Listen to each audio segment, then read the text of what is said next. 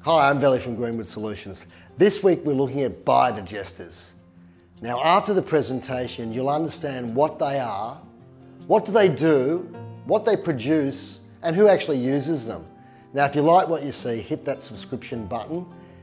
Now let's get stuck into it. Ready, steady, go.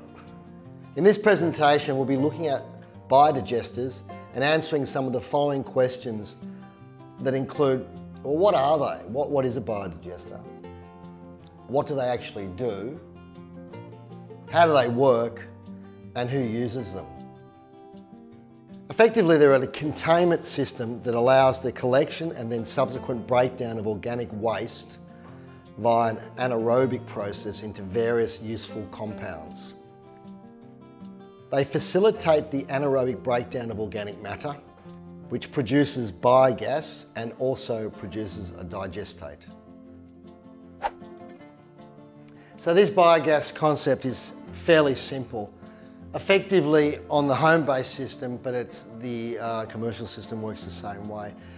You have a collection point where you put in organic matter, whether that's animal manure, scraps from your garden, or scraps from your dinner it, it falls down into this chamber here. After you put your stuff in it, it seals up, you seal it up, and then the microbes, those hard workers that they are, they do their process anaerobically, in other words, in a very low oxygen environment, ideally no oxygen. They do their thing, and in the process, um, the biogas is produced, and the biogas somehow through a valve uh, goes up, and because it's lighter than air, gathers at the top of this inflatable bag. So effectively the home system is made out of a re, um, recycled um, plastic that's got a, a, life of about 15 years but eventually breaks down completely so it's biodegradable. It's imagine like a large balloon so it starts filling up. Now on top of this biogas when it starts to fill up you've got a system of um, sandbags that they place over. The sandbags compress the gas down and then the only way the gas can go out is out through a pipe they, pro they provide with the kit to your portable gas, a biogas cooker where you can cook your food in a mutated kind of wok. So what are some of the products of the end result of this process? Well, effectively biogas is the main one, basically methane uh, also liquid-based fertiliser, solid fertiliser and soil amendment, and also fibre-based products. Now there's aerobic and there's anaerobic. With anaerobic, it's a breakdown of organic matter with limited oxygen, ideally with no oxygen. It's a slower process than aerobic digestion, and you're effectively uh, harnessing the power of the microbes or microorganisms to do this work. So with these biodigesters, the heroes are effectively the microorganisms. They're the ones that are doing all the work to break down that organic matter into its constituent, uh, into those compounds.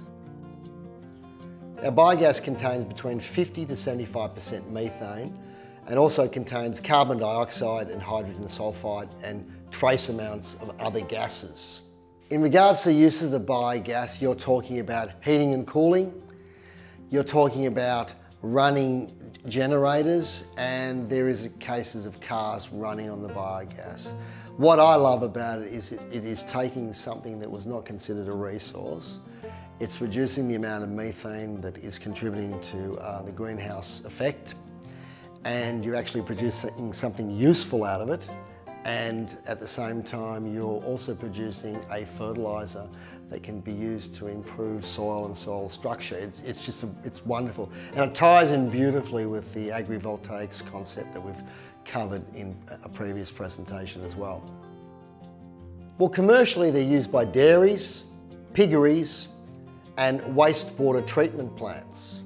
There are some commercial applications where piggeries have used uh, very large um, generators for their electrical needs uh, and running them totally off the, uh, the pig gas, the biogas from the piggery. Biodigesters can have a residential application, definitely. There are home biogas systems sold in Australia. These are kit systems that come as, along with the bladder, a portable gas cooker. And they claim for every two kilogram of organic waste you get about an hour or so of cooking time. Now, with some of these um, biodigesters, you can get a free set of steak knives. Thanks, Gil. Conclusion. Biodigesters take organic waste and convert into useful products. Biogas is one output that can be used for cooking, heating and running a generator. The other output is both solid and liquid fertiliser. Thanks so much for watching our presentation on biodigesters. We've literally just scraped the surface. I'm Veli from Greenwood Solutions. If you have any questions, any inquiries, any answers, please feel free to drop us a line. And if you like what you see, hit that subscription button. Bye for now.